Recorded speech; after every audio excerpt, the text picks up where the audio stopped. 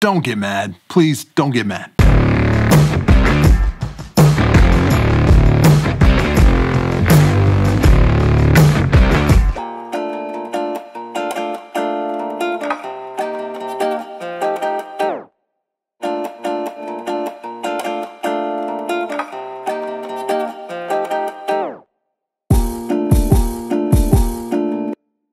Welcome to the Tarantula Collective. My name is Richard. Thanks for joining me for this Thursday video. We're calling it Three Minute Thursday, and I keep meaning to change the, the graphic, but I haven't got around to it yet. Uh, maybe, maybe next week. Um, or maybe this video will be three minutes. I don't know. You know before I do because you can see the little timestamp, and I haven't finished recording it yet. I just started. It's like 30 seconds long, maybe. But I wanted to talk today about something that really isn't about my tarantulas. It's about a YouTube video that's been sweeping the internet lately. I'm sure you know by like the title or the thumbnail who I'm talking about. Uh, it's a new video that came out by Ants Canada. But before we go any further, I'm not hating on this guy. I'm not hating on his channel. In fact, I'm subscribed. I enjoy watching his videos. Even though I hate ants, I don't like ants, but I, I enjoy watching him. But he did post a video up recently about his Poecilotheria metallica uh, having this immaculate conception. He had bought the tarantula from a local pet store, and after having it in his collection for a while, it had an egg sac and hatched, and there were babies everywhere. A lot of people were saying that it was a phantom egg sac, I guess, when he first said something about it,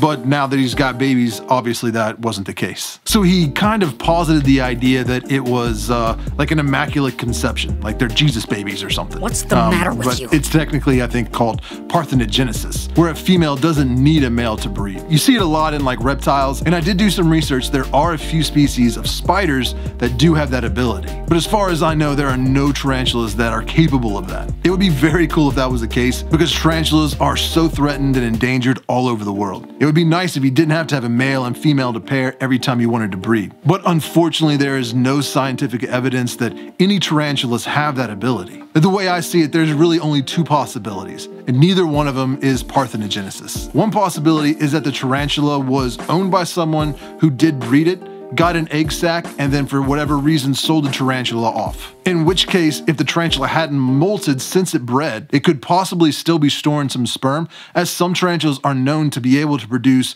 sometimes two or three egg sacs from one pairing. So that is a possibility that whoever bred them got their egg sac. It, I mean, it could have been whoever sold it to the pet store, and that P. metallica was still storing that and decided to inseminate itself and produce another egg sac. Highly unlikely, but it is a possibility. But what's more likely is the second possibility, which is also kind of disturbing. We all know that there is a huge problem with wild-caught specimens being brought into the pet trade. It happens all over the world. It's going on in Mexico and Brazil and, you know, all throughout Asia, where a species becomes popular in the hobby and to profit, you have people that go out, capture them, and then smuggle them out of the country and sell them in the pet trade. It's kind of like the dirty secret of the tarantula hobby that nobody likes to talk about, but everybody knows it happens. In fact, every species that we have in the hobby at some point was taken out of the wild and bred in captivity. But the reality is with most of these tarantulas, there are plenty in the hobby that have been captive bred, and there's really no need to continue to take them out of the wild. And it is true that because of deforestation and, and logging and just destruction of their habitat from urban sprawl and so many other reasons, many of the species of tarantulas are threatened or even endangered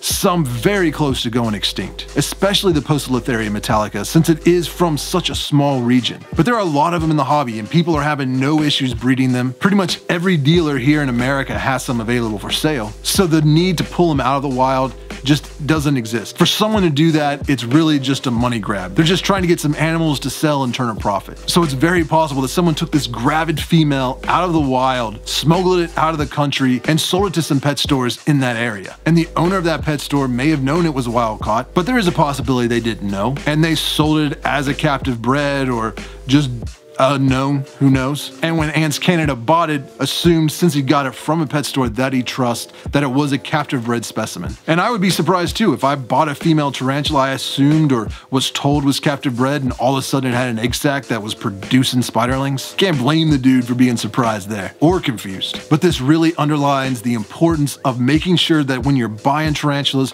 you're getting captive bred specimens. A lot of people look at the tarantula hobby out of the side of their eye just because we're collecting venomous spiders. They don't understand the allure, they don't know the beauty, they just don't appreciate them like we do. So they already think we're weird just because we're keeping tarantulas. And then when we tell them we're breeding them and selling them and mailing them, yeah, they get a little freaked out. But what really upsets people is when they find out you're going and pulling threatened or endangered species out of their natural habitat just to turn a profit and sell and, you know, keep in your basement like this. And wild caught specimens are they're they're just a part of the hobby, unfortunately. You know, anytime there's a new species discovered, people are gonna run out and try to harvest some from the wild so that they can bring them back and breed them and sell them. I mean, it's a capitalist world. Profit is what drives almost everything in this world. I mean, cash rules everything around me, right? Am I right? So maybe that part of it's unavoidable, but we don't have to feed into it. If there are captive bred specimens available, always go for that. Yeah, the wild caught specimen may be a little bit cheaper, maybe a lot cheaper, but one, you don't know what you're getting. You, you may be getting a gravid female, or you may be getting a male that's very old, and that just isn't gonna live very long. There could also be serious issues with mites and nematodes and all kinds of health problems. And you could be bringing back, you know, funguses and spores and, you know, microorganisms into your collection that normally wouldn't have ever been introduced had you gone with a captive bred specimen. So there's a lot of risk in taking in wild caught specimens. But it also helps propagate the market for people to go out and catch these things in the wild. I mean, if nobody's buying them, if we're all insisting on captive bred specimens, that's gonna drive the market. It's gonna drive those prices down even lower to the point that it's not even going to be worth their time to go catch them and, and, smuggle them just to sell for a profit. So yeah, you may save 10 or $20, but is it really worth it? Always try to go with a captive bred specimen. And one way to do that is to only buy from reputable tarantula dealers. Now, my website, thetarantulacollective.com, I have a whole page devoted to tarantula dealers around the world. I don't have all of them, I don't have every country, but just as I've met people in the hobby and they've given me suggestions or referrals, or I've used the company or I know someone that I trust that's like, this is a really good company, I went ahead and put them on the website as a reputable tarantula dealer knowing that they deal mainly, if not exclusively, in captive bred specimens. Most of them, they breed themselves. So always check that out. Be wary of tarantulas that are sold at pet stores because a lot of times they're gonna be selling you wild caught specimens. You know, a store like Petco or PetSmart or, you know, whatever the chain box pet store is in your country, they're a corporation. They're, they're looking to make a profit. So they're gonna buy the cheapest possible specimen they can and sell it for the highest profit, which usually means they're buying wild caught tarantulas or they're getting them from these like reptile farms that are also dealing in tarantulas. And it's just a whole mess. They're not healthy. You don't know what you're getting. And it's just, it's just not good. It's not good for the hobby. It's not good for you. It's not good for the tarantulas. It's not good for the environment. So much love to Ants Canada. Congratulations on your egg sac. It's going to be awesome. I love the video, but I really don't think that this was parthenogenesis. I don't think that that's what happened. And until there's like some real scientific research showing that a tarantula can impregnate itself, yeah, I, that's not something I'm ever going to be uh, believing. So hopefully this was just a case where someone bred a tarantula and sold it and it just inseminated itself again and it's not a wild caught specimen being introduced into the pet trade. But that's my spiel. Don't buy wild caught specimens. Support your local bug dealer. Subscribe if you want to see more content. And thanks for buying Tarantula Collective merchandise. I will see you Tuesday.